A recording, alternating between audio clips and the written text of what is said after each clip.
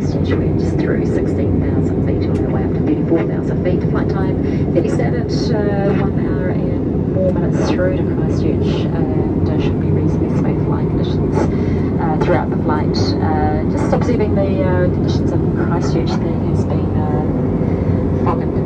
forecast potentially for the morning. Moment just a little bit of mist has uh, developed. We're watching closely as we progress down to Christchurch. I'll keep you updated. As I said, it's